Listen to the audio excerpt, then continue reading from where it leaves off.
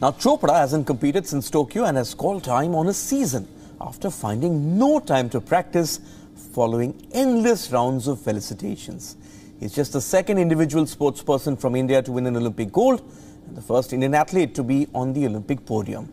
Now, earlier this week, I caught up with the president of World Athletics, Lord Sebastian Coe, who himself is a two time Olympic champion, and I asked him about reports that he got emotional seeing Chopra win gold three weeks ago. Listen in.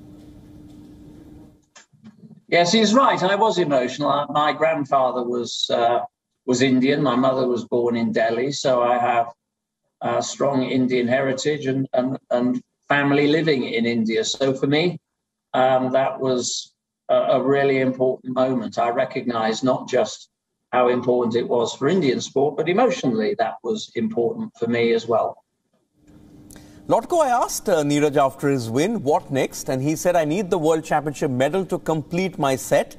Now, as someone who was part of competitive sport for two decades at the very highest level, what would your advice be to Neeraj as he embarks on the next phase of his career?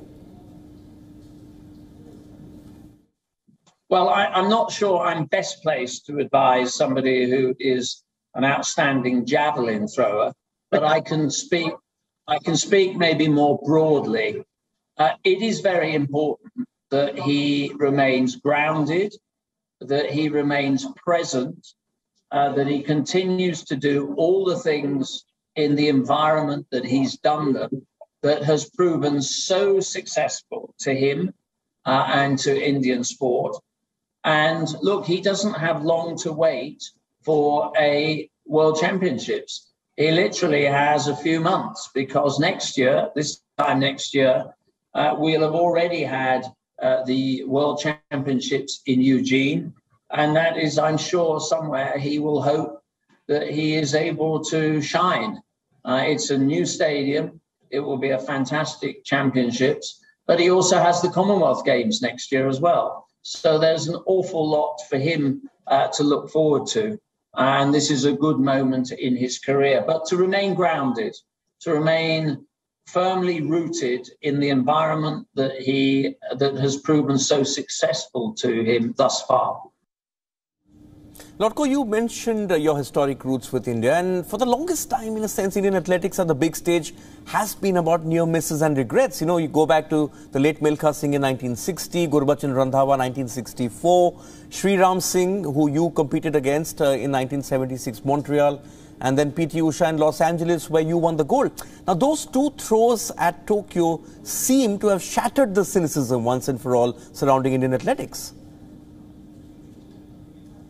Well, I think his victory has done two things. It will have confirmed in his mind that he can win at the very, very highest level. Uh, very few people end their careers with as Olympic champions. He has achieved that now he can build on that, and that's what I hope he does.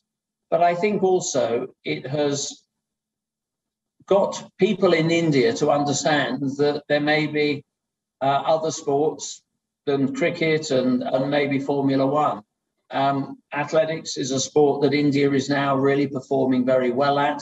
Uh, Adil, uh, the federation president, uh, and my World Athletics Council member, has been incredibly active in the last few years in creating and providing the opportunities for athletes, uh, not just to compete, but to be uh, put to the right coaches and the right coaching structures. And so I think a great deal of credit should uh, fall at his feet. You mentioned uh, the road uh, and the sort of growth of Indian athletics. Uh, there's also a roadmap which is probably now producing results because India has consistently won medals at the Asiad and Commonwealth Games.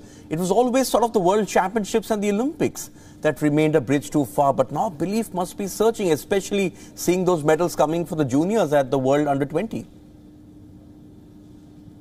Yeah, it's, it's exactly as I said that this will have given other Indian athletes confidence to believe that they can do uh, what he has done and win an Olympic title, uh, whether it's in race walk, whether it's in mixed relays, or, or, or whether it's in uh, other field or, and, and track events. It's a very, very important glass ceiling that has been broken.